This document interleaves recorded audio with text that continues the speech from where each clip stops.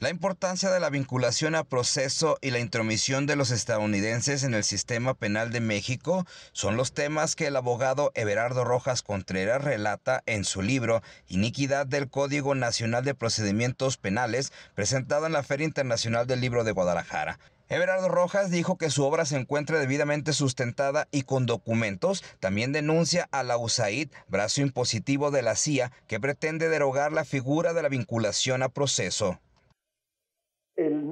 Principal objetivo de escribir esto es un reto para todos nosotros porque tenemos una institución muy de nosotros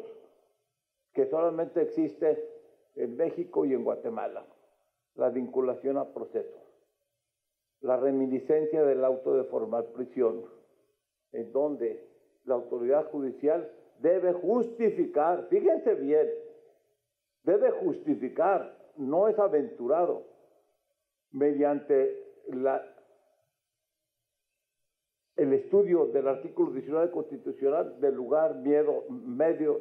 y forma de la comisión del ilícito, del hecho delictivo. El abogado autor de Iniquidad del Código Nacional de Procedimientos Penales asegura que se busca terminar con la figura de la vinculación a proceso por parte del Senado, lo cual sería un error para la impartición de justicia en México. Por ello, ha luchado contra la medida y esta obra tiene el único fin de preservar la institución, ya que de omitirla se podría disparar la corrupción y perder la libertad. Everardo Rojas Contreras espera que su obra despierte la conciencia en universidades, colegios de abogados, asociaciones de jueces y magistrados para que luchen y no permitan intromisiones en la impartición de justicia en el estado de Jalisco. Con las imágenes de César Cortés para UDGTV y Canal 44, Pablo Toledo López.